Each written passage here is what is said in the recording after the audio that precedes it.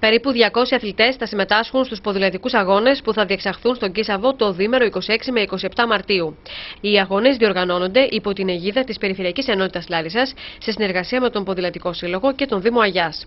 Στόχος της περιφέρειας οι αγώνες αυτοί να καταστούν θεσμός για την περιοχή. Για μας αυτές οι εκδηλώσεις είναι σημαντικές. Είναι σημαντικές πρώτον διότι δημιουργούμε, δημιουργούν προστιθέμενη αξία στον αθλητισμό ε, και μάλιστα σε αθλήματα τα οποία ιδίως στη Λάρισα είναι καταξιωμένα όπως είναι οι ποδηλατικοί αγώνες και με, με πρωταθλητές σε εθνικό επίπεδο και όχι μόνο. ε, και γιατί δημιουργούν και προστιθέμενη αξία ε, στην κοινωνία και στην οικονομία. Οι ποδηλατικοί αυτοί αγώνες οι οποίοι διοργανώνονται για πρώτη φορά το Σαββατοκύριακο και είναι θα ήθελα να επισημάνω πανελλήνιας εμβέλειας να θεσμοθετηθούν Έχουμε συζητήσει τόσο με το Γυμναστικό Σύλλογο Λάρισας, έτσι ώστε να μπορέσουμε να καθιερωθούν και κάθε χρόνο να γίνονται στην ε, περιοχή μας και να συμπεριληφθούν στο ενιαίο πρόγραμμα ε, του, συλλόγου, του γυμναστικού συλλόγου. Ο Κίσεβο χαρακτηρίζεται ως ένα από τα δυνατά πλεονεκτήματα της περιοχής και πρέπει να αναδειχθεί, υπογράμμισε ο Δήμαρχος Αγιάς, κ. Αντώνης Κουντάρα, ενώ για το διαγωνιστικό κομμάτι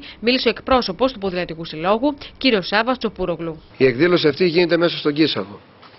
Ο Κίσαβος είναι ένα από τα συγκριτικά πλεονεκτήματα, ένα από τα δυνατά χαρτιά τόσο του Δήμου Αγιάς όσο και της ε, περιφέρειας Θεσσαλίας.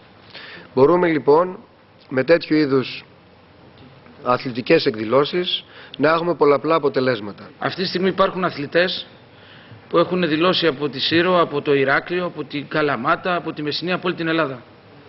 Ευελπιστούμε ότι αυτός ο αγώνας είναι πρώτη φορά γίνεται αγώνας με ευθύνη συλλόγου πλην του Πανελλήνιου Πρωταθλήματος που το διοργανώνει η Ελληνική Ομοσπονδία Ποδηλασίας και κατ' επέκταση είναι στο καλεντάρι της Γενικής Γραμματείας Αθλητισμού.